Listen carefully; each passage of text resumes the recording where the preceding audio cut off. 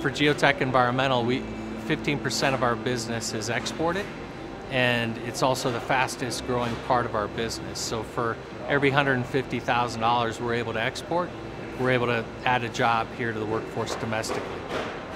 Uh, we're a manufacturer of equipment primarily used to sample and test for groundwater pollution, and we have offices around the United States in eight different locations. Uh, besides our headquarters here, here in Denver, Colorado. The environmental laws uh, for groundwater are pretty stable here. It's a stable market for us, but it's an emerging market globally.